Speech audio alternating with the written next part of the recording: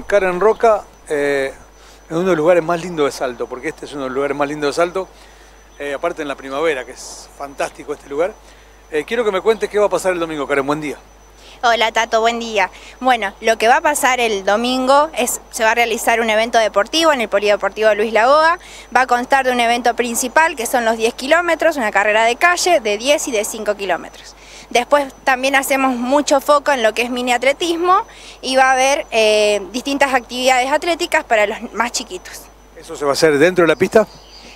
Empieza y termina dentro de la pista el recorrido, pero no son no es dentro del circuito en sí, sino que se va a desplazar, pues, eh, se va a desplazar todo lo que es eh, pista de ciclismo, donde largamos, después vamos por ruta provincial 32 en sentido costanera, toda la costanera en, su totalidad hasta Cerrito, luego doblan en Valentín Vergara, 25 de mayo, llegando hasta la, hasta la Valle, retoman en Buenos Aires y eh, vuelven de nuevo por La Prida. Ese es el recorrido de los 10 kilómetros.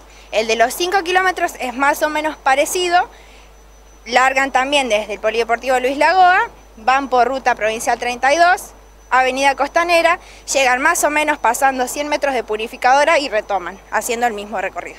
Yo te preguntaba por los más chiquitos, si son los que van a hacer atletismo dentro de la pista. Perfecto, sí. Los más chiquitos van a estar desarrollando todas las actividades atléticas dentro del polideportivo la gente, yo algo leí que los chicos chiquitos y la gente mayor corren eh, gratuitamente, ¿cómo se contame?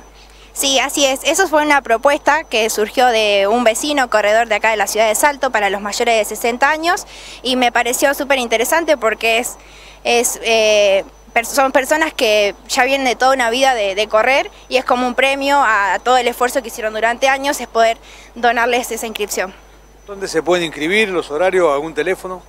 Se pueden inscribir a través de mi Instagram personal, karenroca.atleta, eh, y desde el Instagram de la carrera que es salto.corre. Ahí en, la descripción de los dos perfiles tienen un link donde se pueden inscribir. Las inscripciones cierran hoy a las 8, ¿sí? porque para darle una, mayor seguridad y un lindo evento, solamente he eh, habilitado 200 inscripciones. Hasta el día de hoy van 155, así que quedan unos cupos pocos. ¿Y aquel que, se inscribe que recibe las remeras que puesta, por ejemplo? Exacto, el que se inscribe, si, se inscribieron entre los primeros 100 van a recibir la remera y si no, reciben lo que es medalla, bueno, distintos regalos de los negocios que, han colaborado y mucho con lo que es la premiación, porque son 90 premiaciones que vamos a estar dando, va a haber premiaciones en orden de compra y, bueno, de todo un poco. Eh, horarios. El horario de largada va a ser a las 8 y 57 para un cupo con discapacidad, que viene un hombre que tiene 76% de discapacidad.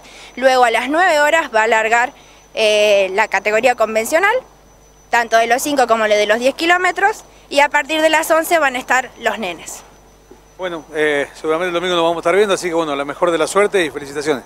Bueno, muchas gracias por venir y agradecer a los que hacen posible este evento, que es la Municipalidad de Salto, colaborando en todo lo que se pudo ofrecer desde, desde las posibilidades de ellos, así que muchas gracias a Camilo, al director de deportes, a todas las empresas que colaboran, a 13 me ha ofrecido un gran descuento en lo que es en el pago de las remeras, que es la empresa que me sponsoriza deportivamente, así que nada, agradecerles a, a Bringeri que colabora con órdenes de compra y a todos los locales de, de Salto que han brindado un regalito para que el atleta se vaya contento y conforme. Contame si viene gente de afuera a competir, Karen, por favor.